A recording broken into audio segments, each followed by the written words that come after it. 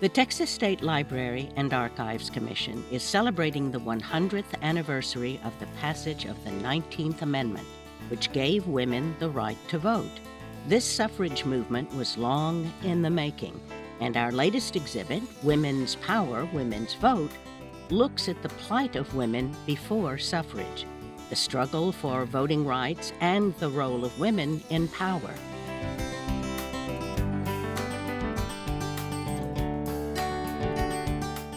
The journey for women from frontier farms and traditional homes to the State House and other arenas of power took decades and the efforts of many individuals and groups to achieve.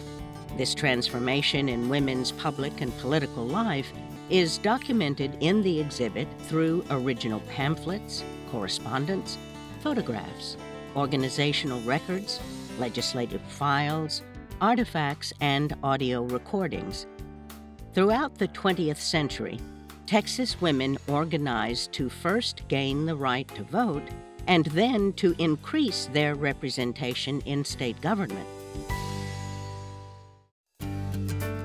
Drawing on the State Archives collections, Women's Power, Women's Vote explores how women's desire for self agency took hold in Texas motivated their fight for suffrage and evolved into broader struggles for equal rights.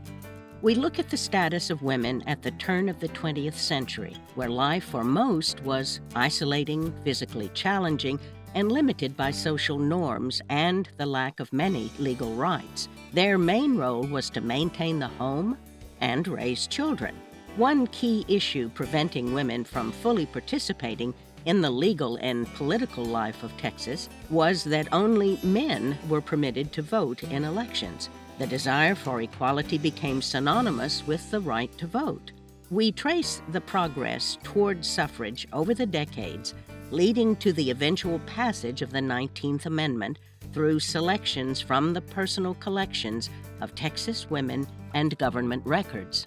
This framed display of items illustrating the women's suffrage movement was assembled by Very McFadden Godfrey of Williamson County, who, along with her sisters Alice, Ora, and Alma, were active in the cause to gain women the right to vote. Their grandfather, David H. McFadden, a soldier in the Texas Revolution, was a supporter of women's suffrage and the first honorary member of the Texas Equal Rights Association.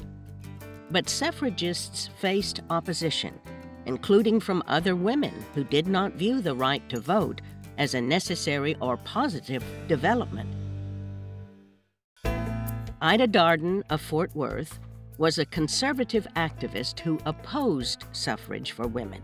In 1916, she served as the publicity director of the National Association Opposed to Women's Suffrage. Her scrapbook offers a view of the association's arguments and rationale for opposing suffrage, as evidenced by this article published in the Houston Chronicle.